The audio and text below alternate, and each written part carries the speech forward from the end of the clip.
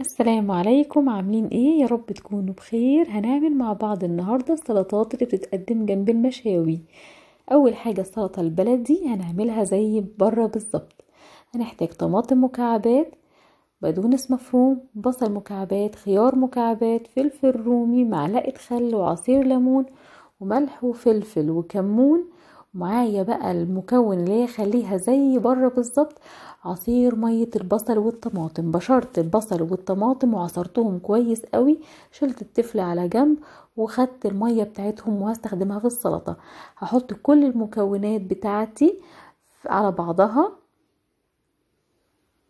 وهحط الملح والفلفل والكمون. رشة الكمون هنا مهمة. معلقة الخل وعصير الليمون ومية البصل والطماطم. أنا عصرتهم كويس على فكرة والتفل بتاعهم خدت كنت حطاها في الكفتة. وهنزل لكم اللينك بتاع وصفة الكفتة في صندوق الوصف. هنا هنعمل سلطة طحينة.